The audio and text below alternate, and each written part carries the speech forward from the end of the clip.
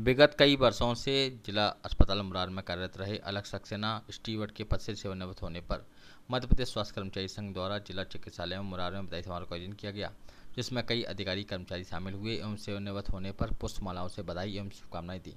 इस अवसर पर civil surgeon Gwalior doctor R K Sharma R M doctor Alok Purohit, doctor Vipin Goswami, सहायक प्रबंधक डॉक्टर राजेश्वर सरिया डॉक्टर सुनील शर्मा मध्य प्रदेश स्वास्थ्य कर्मचारी संघ के प्रदेश महामंत्री रणवीर सिंह सेकरवार।